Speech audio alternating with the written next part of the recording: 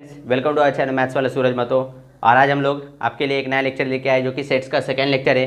Sets में हम लोग मैंने जैसे आपको बताया था कि हम लोग बोर्ड, जेई और सी तीनों कवर करने वाले थे। हम लोगों ने लास्ट लेक्चर में सेट्स के इंट्रोडक्शन के बारे में पढ़ा था और जो भी उसके बेसिक्स होते, उसके बारे में पढ़ा था। और आज हम लोग जो भी पढ़ेंगे, और हम लोग पढ़ेंगे रिप्रेजेंटेशन ऑफ़ सेट के बारे में। तो सेट को रिप्रेजेंट करने के कितने वेज होते हैं, उसके बारे में। तो सेट को रिप्रेजेंट करने के दो वेज होते हैं। पहला तो होता है लिस्टिंग मेथड लिस्टिंग मेथड, इसको ही हम लोग रोस्टर फॉर्म भी बोलते हैं। Roster form. और जो सेकंड होता है, वो होता है सेट बिल्डर मेथड जो कि रूल मेथड भी होता है। रूल मेथड और उसी को हम लोग बोलते हैं set builder form set builder form. तो सबसे पहला तो लिस्टिंग मेथड क्या होता है? तो लिस्टिंग मेथड वो होता है, लिस्टिंग मेथड में हम लोग जितने भी एलिमेंट रहते हैं ना सेट के, उसको हम लोग लिस्ट करते हैं। मतलब एक टेबल के मतलब लिस्ट में अरेंज करते हैं और उसको एक कॉमा से सेपरेट करते हैं। तो इसमें हम लोग क्या करते हैं?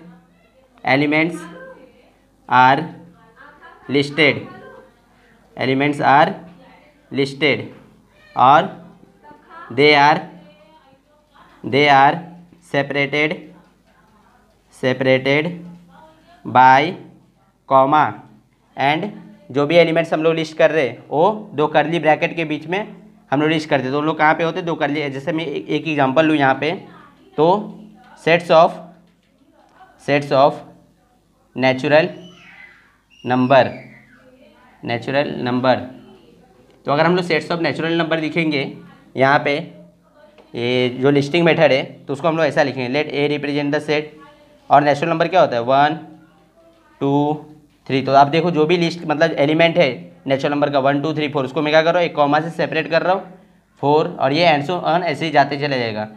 तो कहाँ तक जाएगा ये? इन्फिनिटी तक।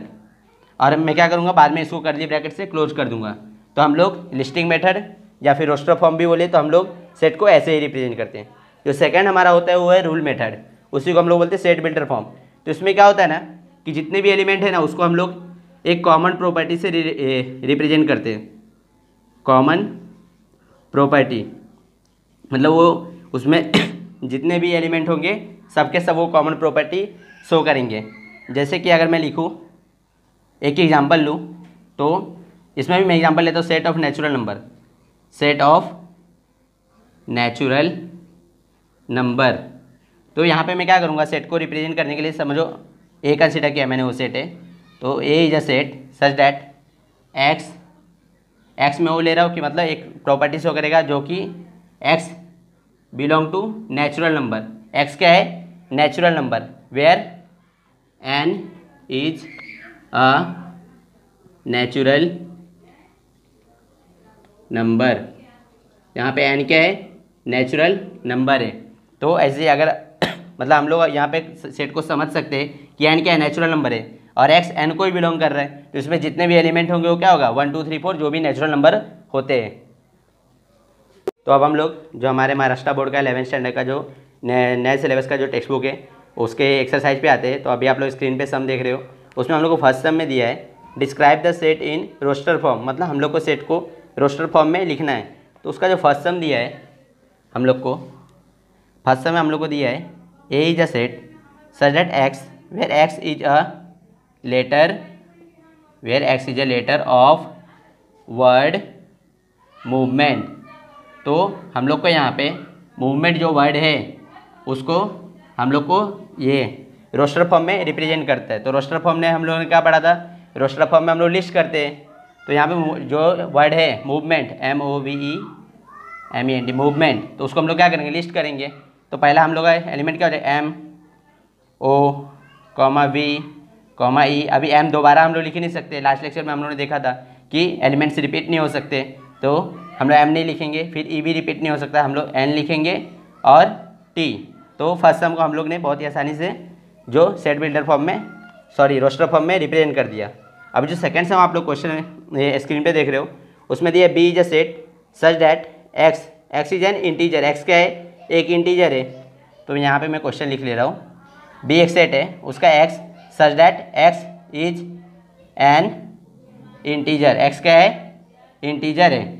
और वो कहाँ से कहाँ तक है, उसका हम लोग को लिमिट भी दिया तो माइनस थ्री बाई टू से एक्स फिर बाद में नाइन बाई टू तक है। तो अगर मैं यहाँ पे डिवाइड करूँ तो थ्री बाई टू कितना होता है?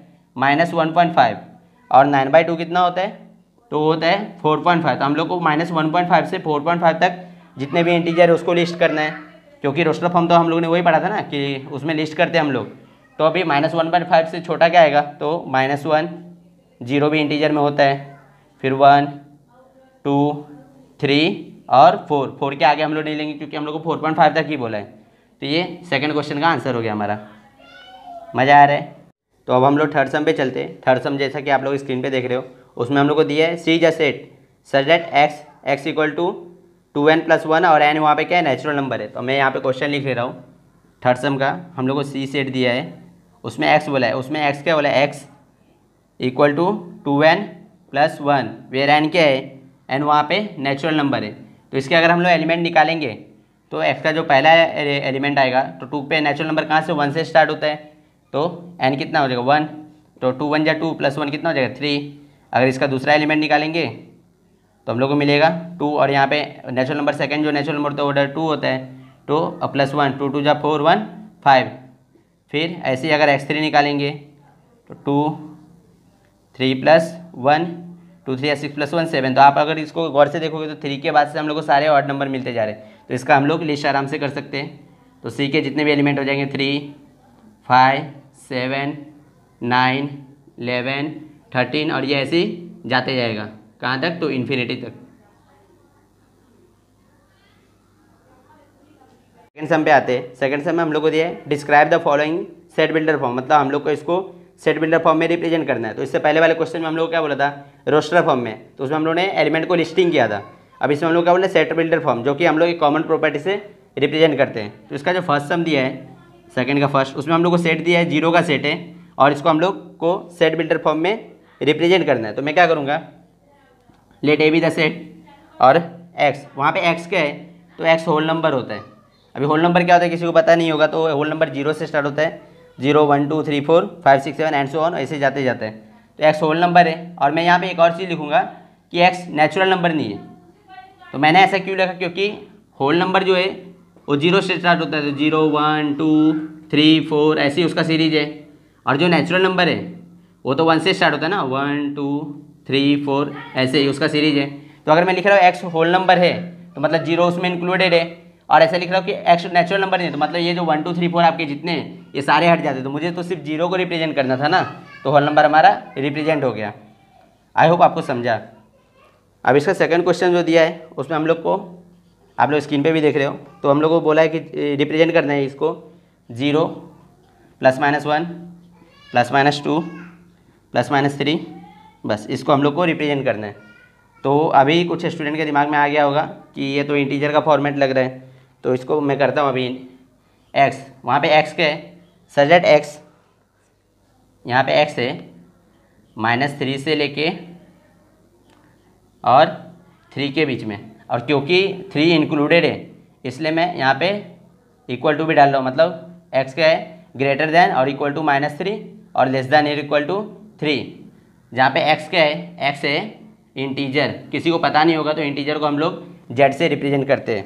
तो एक्स का है? इंटीजर अभी इंटीजर कहाँ इंटीजर क्या होता है? इंटीजर में होता है जो भी आपके, पहले तो नेगेटिव इन्फिनिटी से, फिर बाद में minus four minus three minus two minus one zero one two three ऐसा जो सीरीज़ होता है, वही इंटीजर का होता है। तो मैंने उसको यहाँ पे वही रिप्रेजेंट किया कि एक्स इज़ ग्रेटर देन और इक्वल टू माइनस थ्री मतलब माइनस थ्री से बड़ा है और उसके इक्वल भी है। और less than equal to three. जो और उसका इसका एक और सॉल्यूशन भी हो सकता है। तो इसका एक और करने का तरीका है मैं यहाँ पे माइनस फोर लिख दूँगा और लिख दूँगा x is greater than minus four तो माइनस फोर उसमें इंक्लूड नहीं होगा तो माइनस थ्री से ही होगा।